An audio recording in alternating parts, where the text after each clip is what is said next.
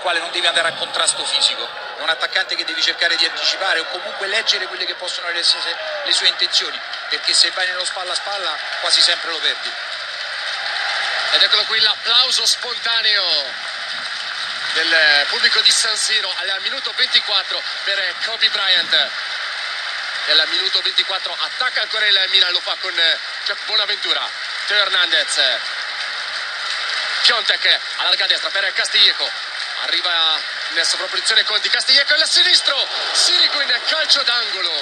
Ci ha provato Samu Castiglieco il quale giustamente è andato all'interno per poter calciare con il mancino e quando, una, quando, hai un atteggiamento del genere devi tirare o forte sul primo palo o a giro sul secondo, ma la possibilità di arrivare al tiro gliel'ha data Conti. Conti con la sua sovrapposizione gli ha portato via l'uomo, gli ha, preso, gli ha permesso di prendere quel metro di vantaggio che poi l'ha portato al tiro. Ed eccolo qui lo striscione di San Siro per Kobe Bryant e per la figlia Gianni.